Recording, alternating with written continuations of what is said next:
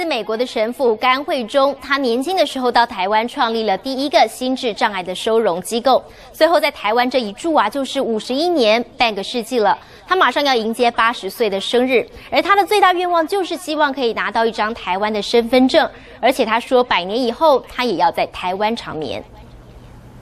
眼前这位满头白发、脸上还挂着大大笑容的老爷爷，就是今年已经即将八十岁的甘惠中神父。五十一年前来到台湾，创立了第一个专门收容心智障碍者的机构，几乎把整个人生最精华的时光都奉献给台湾。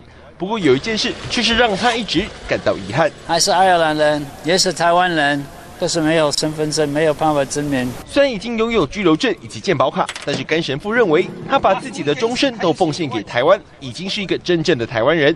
为什么不能够拿到一张身份证？所以我一辈子在台湾。希望可以在台湾过世了，可以埋葬在这里。我现在也有赋税，可是不能投票。虽然两年前甘神父曾经向马总统请求协助，但是碍于台湾的法律规定，必须放弃美国籍才能取得身份证。不过因为神父长久以来的特殊贡献，让内政部严厉修法，未来各个领域的专业人才也能够不用放弃原有的国籍，就可以成为真正的台湾人。